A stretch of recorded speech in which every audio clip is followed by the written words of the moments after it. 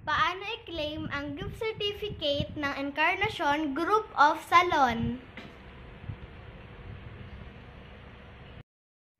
Hey guys! Welcome back to my channel. So for today's video, i-claim ko na po tong gift certificate from Encarnacion Group of Salon! Yay! Try this yourself. It's extremely dangerous.